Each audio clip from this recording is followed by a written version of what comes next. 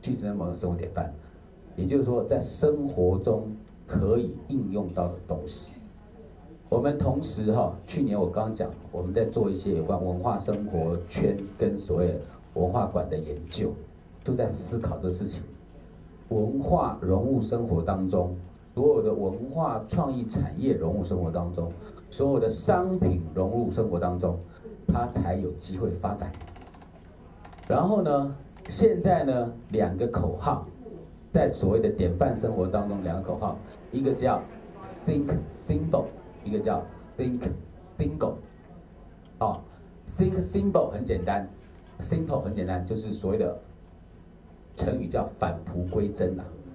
就简单就是美啊，什么少即是多啊，好，类似这样的概念。这个意思是说，假如你今天的产品能够很直接的达到某一个功能。或者某一个所谓的一个课程，在很多的产品趋势当中，它是最有效的。那复合性多功能的，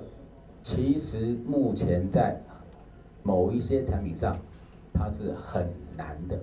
很难有效的，或是或者是很难去去抓到那个特定的那一个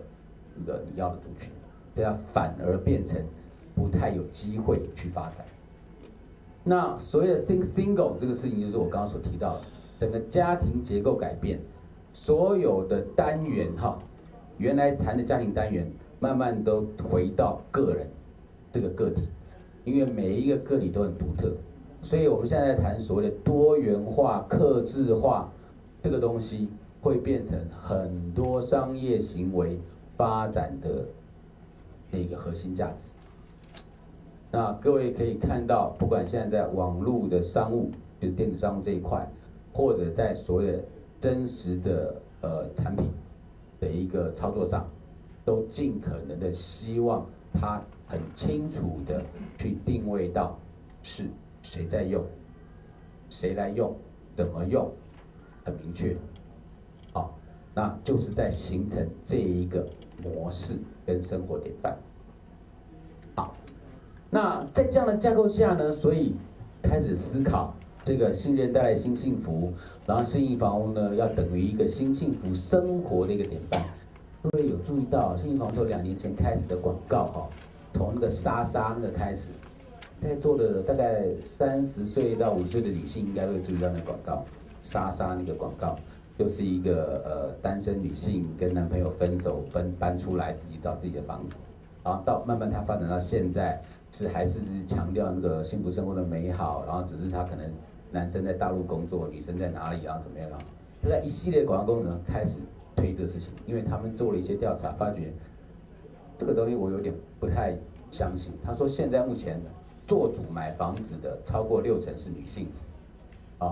这个当然对于男性来讲，这个自尊有所伤害的哈。他就说现在做主买房的超过六成是女性。那我其实私底下相信这是真的，好，所以他们现在大部分的那个广告诉求都在以女性为主的出发，在敲这一块，然后敲出来所谓的新幸福生活。什么是新的幸福？怎么定义？好，那因此呢，在这个阶段，他们的幸福行动计划的最重要的关键就是向社区学习。那这一个口号呢，其实不是真的。真的不是它是一个口号，而是它应该真实操作的。我们也很希望今天在跟各位分享的过程中，大家可以了解哈，呃，像社区学习这一块呢，其实是台湾过去将近十五年哈，从一九九四年、九五年开始在做的所谓的社区总体营造，所慢慢发展的成果。台湾的社区呢，我们估计呢，至少比大陆要进步二十年以上，跟。日本的社区呢，其实差距已经不大，因为民族性的不同，在做很多事情当然是不一样。可是呢，整个在操作的过程中，台湾社区在一些所谓的呃手法，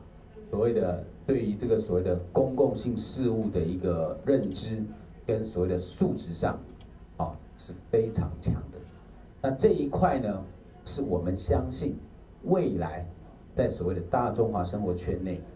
远远胜过大陆、香港、澳门甚至新加坡。新加坡的很多社区是靠严循禁法建构起来。好，那所以在这一块下去，台湾这个机会，它会是一个生活最充满动态活力跟所谓的一个热情的地方，而那个部分呢，是建构大家有一个共同生活的规范跟基础上。假设我们不再去管所谓的政治议题，甚至连选举都不是我们关切的事情，我们只管我们的生活的时候。向社区去学习生活的那一个典范，如何去好好的过生活，而不是过日子。那这个部分就可以形成各位未来最棒的利基。你会形成一个商圈里头，一个商店这头具有一些典范性的生活，而这个生活呢，是所有人都愿意来体验的。好。那在这个状况下呢，它形成的就是一个呃以信任为基础的幸福生活社区。那所谓的这个今年的一个 slogan 就是我们讲的向社区学习，生活好幸福，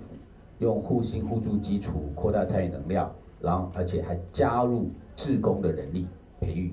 那整个的概念是这样一个想象哈，透过这更多的参与哈，甚至我们称为叫责任分担的过程中。去学习成长，形成一个公益平台。什么叫公益平台呢？其实我们很希望啊，在很多的商圈或商业街都可以做这样事情。商圈、商业街都有很多布告栏，对不对？布告栏呢，它可不可以形成很多的讯息交换？